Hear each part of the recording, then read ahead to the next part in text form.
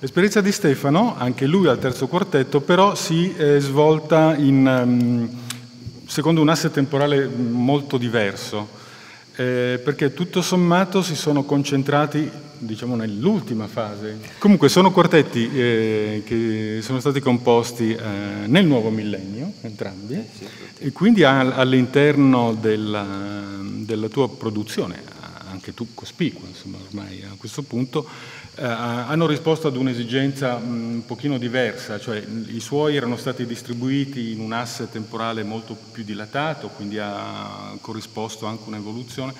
In, in te si avverte piuttosto un'urgenza di riflessione attraverso questo mezzo. E, mm, quando hai finalmente composto il primo non ti sei praticamente subito arrestato nel rapporto con questa forma, cioè con questa morfologia più che forma eh, trovando soluzioni eh, sempre diversi, cioè con, con scarti continui, e, e, in una fase in cui eh, la tua poetica credo abbia mm, conosciuto un'evoluzione. un'evoluzione, ma se vuoi anche un definitivo, cioè l'assestamento non è definitivo, però una, una riflessione molto più meditata su alcune cose che tu hai rimesso in gioco, soprattutto negli ultimi anni. Sì, anche se come Alessandro c'è una produzione giovanile inedita. Questo non possiamo... Non possiamo... uno dei miei primi pezzi è stato appunto un quartetto con altri tre quartetti un quartetto con altri tre quartetti in eco uh-huh. e ogni quartetto ha accordato un, un quarto di tono no, o addirittura un sedicesimo. Ma questo fu eseguito anche, no? No, no, non mi è stato eseguito. L'ho scritto ancora quando ero in conservatorio, l'ho presentato ai vari docenti del conservatorio, a, a nessuno è piaciuto per cui è rimasto lì. È rimasto lì. Perché era utopico? La... Perché era un po' utopico per via della scordatura, non so se era quarto di tono, terzo di tono, sedicesimo, devo andare a controllare il manoscritto che esiste. E poi ho scritto un trio nel 95 sì. e ci ho messo un po' prima di arrivare al quartetto perché il quartetto è un po' così, doveva essere un traguardo, anche perché ho inteso il quartetto un po' come uh, un approccio appunto delle forme classiche, quindi con tutto il peso, le paure, eccetera. E, però ho scritto anche un, però gli archi mi piacciono molto, anzi credo no, che... Poi ieri abbiamo anche ricordato su una domanda che mm. Maurizio aveva fatto un grosso lavoro che si è inframmezzato questo, dove il, il, il complesso il d'archi, il sestetto, ehm, è stato coniugato, con, cioè derivato da un lavoro... Eh, però l'amore per gli archi, o per uno strumento in particolare che è la viola, eh, qualche, non è servito all'inizio a, per abbordare la per arrivare alla scrittura per quartetto. E solo nel 2001 con la maturità acquisita con il passaggio al nuovo millennio ho, ho, cominciato a scrivere per quartetto, per il quartetto Prometto il primo, eh, a dirti il secondo, 2006, 2013, quindi scanditi ogni 5-6 anni. Eh, e, sono, e di ottima alla fine. Cioè, ti sei fatto i tre quartetti esatto. più prestigiosi. No, beh... no, così una battuta. no, beh, idee per altri quartetti ce le avrei. Eh, quartetti. Eh, perché il quartetto è un po' un, come lo è stato per, per tanti compositori, un laboratorio certo.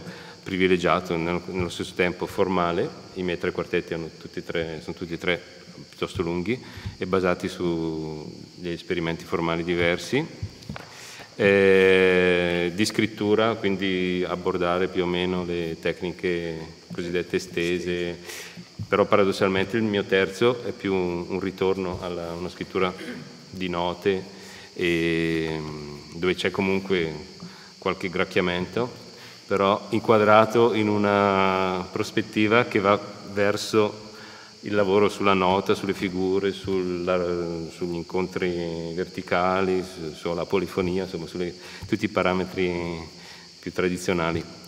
E la terza cosa, esperimenti espressivi, perché così come il tuo terzo è un quartetto lettre intime, il mio secondo è un quartetto lettre intime, il primo era più un quartetto freddo, proprio di eh, Ricordiamo spezzettamento formale. Nel caso di Stefano i titoli hanno astratto, il primero astratto. un valore simbolico e a volte anche criptico in rapporto all'autobiografia che, che lui mette. Allora, il primo quartetto è strada non presa e quindi con un'idea di eh, scarto continuo, di, bi, di bivi, bivio, di deviazioni esatto. da prendere o non prendere. L'altro è veramente una, quasi una riflessione intimista, quasi un, ro- un romanzo epistolare, piccolo romanzo epistolare svolto in musica. Si lettra l'obscurité und zwei Nachrichten, due um, notizie. Otto movimenti. Dai. Due, due, due, notizie, no? E due sms. Eh, ah, ah, beh sì. Messaggi, News. messaggi brevi. Il terzo, appunto, dove un certo tipo di esigenza espressiva, ma vedremo con quali particolarità, perché non è sempre così, eh, nel caso della musica di Stefano, una, così trasparente l'idea di espressività, anzi è un, è un rapporto molto più complesso e introverso da questo punto di vista, ha un titolo esclamativo quasi, clamor, Ecco, questo per... Ma contiene amour. Ma contiene amour. mm. Sì, eh, non so, eh, per parlare del terzo, che sì. è quello di stasera, eh, è un quartetto che dura 30 minuti, 29, che eh, è stato scritto nel 2013 in una prima versione a cui ho poi aggiunto una seconda parte, non alla fine ma all'interno, qualche piccolo intersizio, qualche misura aggiunta all'interno e poi alla fine nel 2015, l'anno scorso, la, ancora una parte finale che riprende in parte un elemento centrale e lo sviluppa perché rimaneva così, è l'elemento più energico che però appariva e non veniva mai mm, sviluppato, non veniva mai risolto. In questo caso non è risolto ma è molto amplificato in maniera parossistica.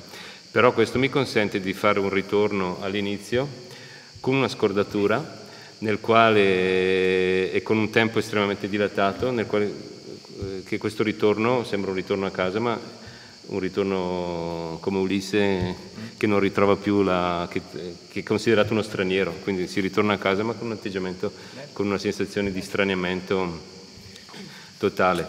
E, ehm, e quindi è anche questo un esperimento espressivo perché è l'idea, cosa che per me è importante, di poter riuscire a essere più esuberante, proprio, quindi uscire da questa introversione che è caratteristica del primo in un modo perché è astratto, del secondo perché è intimista e nel terzo è proprio un tentativo di essere espansivo senza essere banale, chiacchierone. Eh? Che, che, corrisponde a, nello stesso tempo a, a, una volontà di voler controllare questo desiderio di essere esuberante con le sordine, per cui più diventa esuberante e più metto delle sordine che, che vanno contro questo desiderio. E in realtà si chiama clamor, ma è, è l'idea di scavare in una massa che fa, sonora che si fa sempre più ricca delle osi di silenzio come queste qui nel castello e, e, di ritrovarlo il silenzio, non tanto di darlo per assunto come spesso capita con la musica contemporanea, no? che il silenzio è diventato un cliché. Diciamo è il punto poetico centrale di questo quartetto, io vorrei citare le tue parole perché sono talmente esplicite ed esatte. Quindi, eh, come ottenere il silenzio attraverso l'esuberanza sonora, quindi uno simolo se vuoi e non attraverso la cancellazione fisica della vibrazione sonora. Scoprire e rivelare il silenzio nella materia sonora senza negarla, anzi esaltandola. Rivelare il silenzio attraverso il suono. Eh, e così, insomma, via, via di seguito. De- dire il silenzio senza tacere. Sì. E fra l'altro io mi riallaccio a quello che dice Alessandro perché... No, vorrei che commentassi questo perché è abbastanza interessante. Ah, come scrivere della musica silenziosa, della musica che invita al silenzio senza essere silenzio. Eh, poi è vero che eh, secondo me tutti i compositori del passato e del presente hanno questo desiderio di silenzio e la loro musica serve semplicemente per avvicinarsi in una maniera più o meno giusta, più o meno rispettosa. Eh, cioè ce l'ha Beethoven come ce l'ha Webern. in questo caso co- cosa intenderesti per silenzio? Eh, ma intendo, nel, eh, intendo, un po' questo, cioè come eh, inserire dei momenti di puro silenzio, tant'è che appunto cambiano la sordina senza suonare, cioè mettono una sordina, la tolgono, ne mettono un'altra e poi suonano che poi vabbè, diventa teatrale eh, ed è un silenzio che si apprezza solo al momento del concerto. Discograficamente sarebbe sarebbe bianco fisico.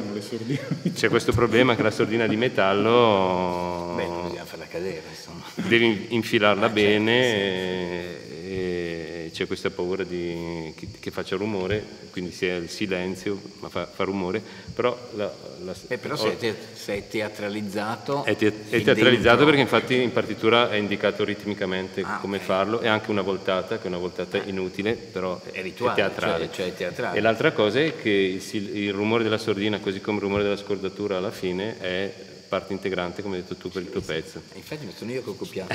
Ci siamo copiati. e quindi il silenzio è un, un traguardo.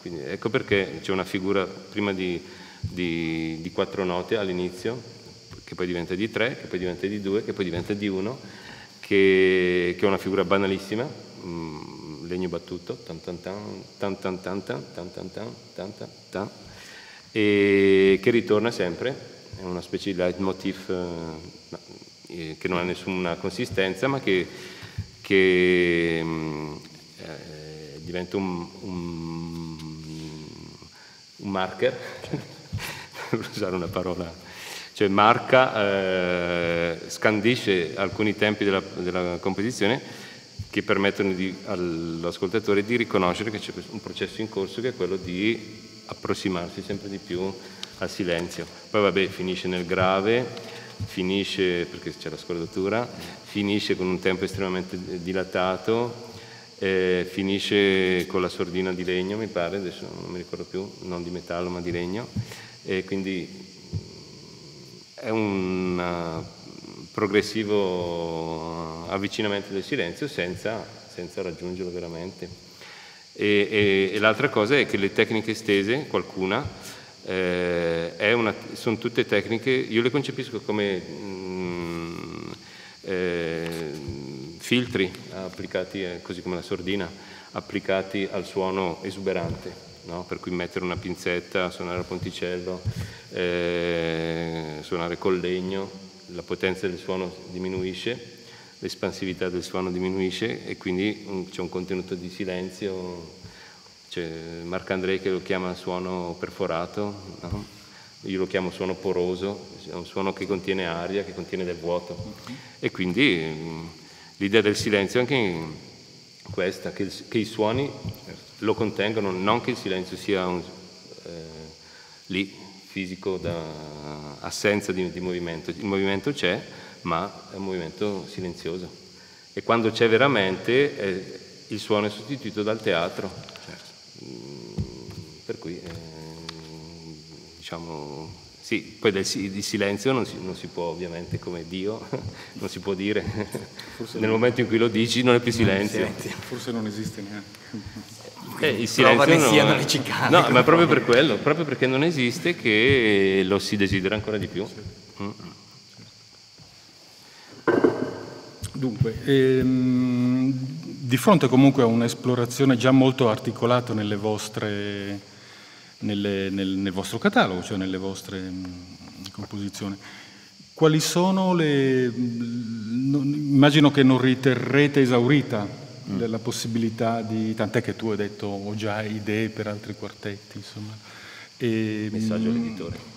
No, non, è, no, no, non per questo, ma visto che appunto la, la, la le caratterizzazioni dei vostri lavori nel vostro complesso hanno già coperto tutta una serie di esigenze e possibilità che siano di tipo formale, espressivo. Certo.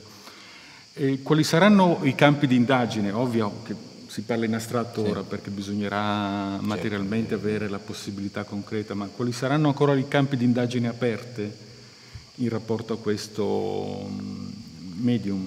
Ad esempio io, beh, è banale, l'abbiamo detto molte volte ieri, però eh, pensando anche pensando alle due cose che non nominato, cioè questo tempo di quartetto, perché il tempo di quartetto è un pezzo per quartetto d'archi? Perché c'entra col fatto di percepire il quartetto come, come nella sua severità, nella sua asciuttezza eh, e, e, questo mio, quello di cui, quell'oratorio di cui tu dici Giulia, quell'oratorio scritto, lo chiamo oratorio perché si chiamava oratorio, adesso, adesso mi rendo conto che è un po' ridicolo dire oratorio, però insomma è una cosa per per soli coro e grande ensemble su testo del Vecchio Testamento, quindi bene o male si chiama oratorio. E quindi attenzione, la strumentazione erano 15 strumenti in quel caso. L'idea di fare eh, un inizio, un inizio di 5-6 minuti però, eh, un prologo se volete, per solo quartetto d'archi quando li suonano in quattro e dietro c'è un coro di 20 persone e altre 11 dell'ensemble a cui le percussioni. Era proprio significativo il fatto che volevo entrare in un territorio sacro, perché avevo preso l'episodio che amo di più di tutto il Vecchio Testamento, forse l'intera Sacra Scrittura, eh, e volevo, come dire, aprire la porta della serietà di questo testo mediante la strumentazione più seria, cioè il quartetto d'archi, che tra l'altro in quel caso incarnava le tre fasi. Il brano era quello di Elia nel deserto, che entra nella grotta, gli viene detto esci dalla grotta verso il mattino, e il Signore sarà presso di te e c'è scritto quella cosa che trovo stupefacente, cioè venne un fuoco che bruciò tutto, il Signore nel fuoco, venne un terremoto che spaccò tutto, il Signore non era il terremoto, venne una terza evento terremoto e, e beh, che figuraccia, adesso non mi ricordo il terzo, eh, non importa, terremoto, vento e fuoco, questo è, sì, sono queste tre, venne un sussurro di brezza, Elia si coprì il volto e uscì dalla grotta, che poi non è e uscì dalla grotta, ma nel testo originale è stette sulla soglia. Eh, di fatto quel quartetto d'archi rivive, anticipa queste tre fasi e arrivata all'ultima apre il quartetto, eh, apre l'oratorio. I sette pezzi sono legati a un'altra cosa di questo genere, c'è questo strisciante riferimento alla sacralità, no? I sette pezzi sono un'esperienza, non la cito mai perché è un'esperienza che nacque come cosa privata, cioè erano una commissione di un, di un, amico, una commissione personale, un modello, modello XVIII secolo, di un signore amico eh, che mi commissionò della musica per commissionò, nel senso che mi pagò pure, della musica per quartetto d'archi, per una messa, il signore non era particolarmente religioso per una messa per se stesso e per sua moglie, prendendomi per un braccio e alla fine della richiesta dicendomi e questa musica ti prego dovrà contenere il senso della morte. Adesso non importa quale fosse la ragione, c'era una ragione personale che ho scoperto mesi dopo. Eh, e anche in quel caso però non poteva essere che il quartetto d'archi secondo questo signore, cioè c'è questa impressione che il quartetto d'archi ti costringa, sei nudo davanti alla carta col quartetto, cioè, è una specie di specchio severo di te stesso, non ci sono facili concessioni timbriche, non c'è una risonanza a pagarlo un milione, non, non è niente di facile. Quindi che il, che il, quartetto funzioni come laboratorio e che segni, eh, a me farebbe molto piacere ogni tanto tornare al quartetto d'archi, infatti ho sentito troppo lunghi questi 11 anni, in mezzo ci sono questi sette pezzi, ma era un'esperienza completamente diversa, perché c'era un riferimento altro, ho trovato questo materiale di cui con gli amici qua intorno, ho trovato questo materiale che mi è molto caro, cioè quella che per, che per me, che io pensavo essere l'unica possibilità di quattro triadi, due maggiori e due minori che coprano il totale cromatico senza ripetizioni, poi un amico ne trova una seconda col computer, lui però, io a mano. Eh, comunque dovrebbe essere solo due le possibilità e quindi un materiale che poi io arricchivo di note contigue in modo che fosse un materiale diatonico ma di totale cromatico, eccetera. Quello era un passo, poi ritenevo fosse un'esperienza soltanto tra me e quel signore lì, poi dopo facendoli per orchestra d'archi sono diventati un pezzo più suonato che, eh, di molti altri. Secondo me i prossimi passi io vorrei, mi piacerebbe tanto uh, avere l'appuntamento col quartetto d'archi ogni volta che sento la necessità, che a me è abbastanza frequente, diciamo ogni cinque anni, di ripulire, di resettare, fai come taggare usando i verbi vostri, eh, di ripulire tutto, di ripulire tutto, riporsi da capo certe domande. Le domande non sono sempre diverse, no? perché in fondo per tutti noi poi alla fine le domande sono sempre le stesse. Però siccome bene o male si cresce, si cambia, si vivono cose, si conosce musica, si vedono modi di pensare, ieri per me è stato molto importante sentire alcune cose che ho sentito, so che mi, influ- che mi influenzeranno alcune cose successe qua, vorrei avere il quartetto come prossimo, non so che cosa ci farò, ad esempio, ne dico una sola poi smetto. Il fatto che in questo caso, in questa versione, na, questa versione nasca dal fatto che ho sentito l'altra come esuberante dal punto di vista inventivo ma in un'arcata unica e quindi sentivo questo contrasto tra molte idee una dopo l'altra un po' troppo una fianco l'altra, è giusto o sbagliato che sia, però sai, e che abbia sentito allora la necessità di separarle mi fa però, mi riporta all'idea che, accidenti, vorrei tornare a un'unica arcata eh, ampia dove possono esserci tante cose ma dove io non senta, io ho sempre avuto l'anelito alla trasformazione continua, dopodiché poi finisco per fare, no? Ecco, il prossimo passo potrebbe essere un nuovo anelito alla trasformazione continua, ad esempio, e comunque l'idea di ritornarci come il prossimo laboratorio, come avere lo studiolo mm-hmm. in cui ti ritiri, a, no? pulisci tutto, ti togli quello che hai addosso e ricominci da capo. Stefano invece che... Io? Ehm, ma io adesso sto scrivendo un piccolo pezzo con eh, voce e quartetto Sì. Sempre la, per il Diotima. L'esperienza sta già proseguendo Sì, anche se mh, mm, anche non se, lo considero... Anche se è una cosa particolare. Nel, sì, non lo considero nello, nella traiettoria dello sviluppo de, della scrittura per quartetto. Mi piacerebbe scrivere un quartetto con elettronica, uh-huh. perché quello mi manca dove che sarebbe scritto unicamente con, con note, visto che poi c'è l'elettronica che farebbe ogni tipo di perversione, farebbe il resto. E l'altra cosa mi piacerebbe pensare il quartetto come un ambiente che accoglie altre cose, quindi potrebbe accogliere l'elettronica, quarto quartetto, potrebbe accogliere una voce, non ancora fatto, questo è per voce recitante, diciamo. E un ipotetico quinto quartetto, ma nello senso di Schoenberg, il eh, secondo quartetto, cioè che a un certo punto l'afflato, il desiderio di certo. il melos, melos, non può essere più espresso da, dagli archi, certo. che sono secondo me gli strumenti più legati alla voce, ma nella mia visione un po' forse distorta della realtà acustica, no, più no. dei fiati. Sì, sì. No? Perché c'è una possibilità di modulare Solo il che per te la viola per me è violoncello. Ma ecco. Storicamente, storicamente la, la letteratura eh sì. per strumento ad arco deriva poi dalla letteratura vocale. Sì, però cioè, diciamo l'emancipazione strumentale viene fatto, viene fatto nel, all'inizio ah. del... Però mi piace che ci sia questa un po' di distanza, cioè il fiato non interviene direttamente sì. nella, nella, nella, creazione del suono, ma è certo. evocato dal soffio dell'arco, dal vibrato, dai, dalle, dal modo di usare l'arco, insomma. Quindi che a un certo punto emerga la voce che è già contenuta all'interno di questi suoni, di questa filigrana di suoni, mi pare uno sbocco naturale. Ecco. Poi non so, poi magari mi fermo lì, non farò come Rim che no, è arrivato a... 17, che infatti Rim 17? Eh, sì. La domanda è se ha superato Beethoven o no. Se, se sì, beh, sì, questo. Esatto. No, l'altra cosa che però è un esperimento giusto è che Mm, così come non si hanno troppe difficoltà a scrivere, ammesso che te li commissionino, dei pezzi per orchestra, no? perché si immagina l'orchestra come una risorsa infinita di colori di, e di tutto. Provare a scrivere un sesto quartetto, mm. avendo diciamo, mm. sparato tutte le cartucce e vedere dove va a finire, senza troppo dover puntare su un dispositivo particolare, elettronica, voce, mm-hmm. forma, ma dire, avere questo rapporto quotidiano mm. o, veramente intimo con una forma che è entrata dentro di te, perché dopo il sesto, dopo il, sesto, eh, dopo il terzo per il momento, puoi sentire che veramente si scrive un terzo quartetto, è diverso scriverne due, sì, ma averne sì, scritto tre vuol dire um, Janacek si è fermato a due, eh, Berg... Sono tutti conti. romantici, tre di Schumann, tre di Brahms. Ecco, esatto. Siamo eh, sulla soglia del super... Arrivati lì vuol dire che la forma del quartetto ti permette di dire delle cose che neanche immagini. E non hai bisogno di, di, di, di prepararti un, un dispositivo no, sulla carta che dica certo. adesso farò così, poi farò così, ci aggiungerò questo, ci aggiungerò quell'altro, ma diventa una quasi una trascrizione sì, un, immediata. Sì, del... una, una, un foglio di carta dove volentieri ti ci metti, non è più quella paura che certo, dicevi prima. Certo. Eh.